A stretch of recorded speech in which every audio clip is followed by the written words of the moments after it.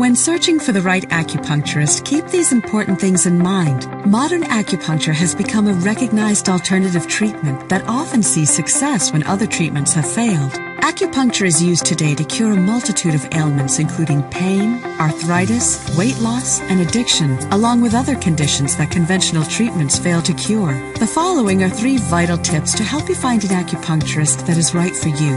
1. Ask what types of acupuncture they'll be using. There are a number of treatment types available. It's smart to ask what the benefits of each are.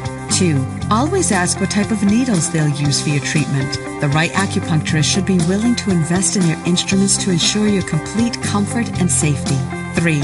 Always ask if they have testimonials or online reviews they could direct you to. There's more you should know about choosing the right acupuncturist. The information we provide could save you time and money. Just visit our website or call us today.